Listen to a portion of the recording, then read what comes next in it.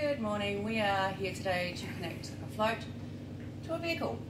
So we've backed our ute up, we've positioned where we want it to be, and we are now going to connect. So this is what we call a jockey wheel, and it goes up and down. So we want to go down, but when going down, we want to make sure that we are positioned so that the vehicle float actually connects onto the tow ball. So wind this up.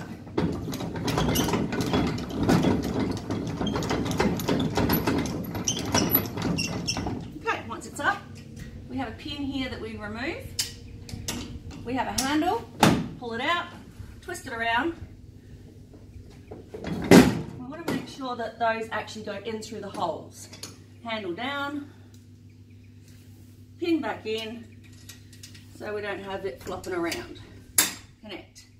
Right, now that we're on, we're going to now connect the other devices. We need to look here. We've got a pin and it's holding the actual handle up.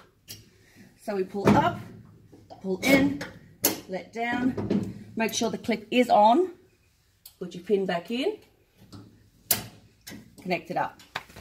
Okay, now we have our chains. This will keep to ensure that uh, your float's not going to run away if it jumps off. Hopefully, it won't ever happen. Okay, using my U-bolt, chains are now attached from the float to the vehicle. We will now give it power. So, we've got this here.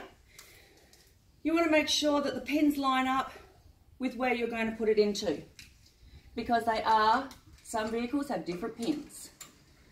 Open up your flap, grab these, push them on, make sure they're tight, connected. Okay, now we want to make sure that we can go forward, so we need to release the brake. We are now ready to load and go. Thank you.